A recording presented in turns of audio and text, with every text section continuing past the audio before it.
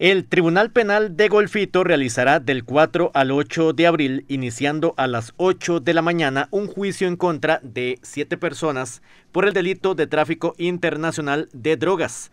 Los hechos ocurrieron la madrugada del 24 de julio de 2020 en Playa Piñuelas, en Osa, cuando unos hombres se encontraban a bordo de dos vehículos.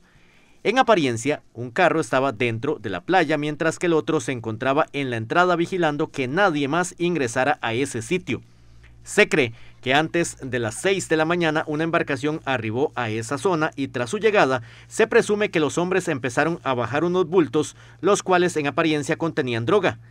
En ese momento, un grupo de oficiales de Fuerza Pública y de la Policía de Fronteras llegaron al sitio y lograron detener a los imputados de apellidos Corella, Monje, Díaz, Calderón, Sánchez, Jiménez y Navarro. Luego de la captura de los encartados, las autoridades realizaron una inspección en la lancha y en los carros, donde se logró decomisar cerca de 885 paquetes de cocaína y armas de fuego.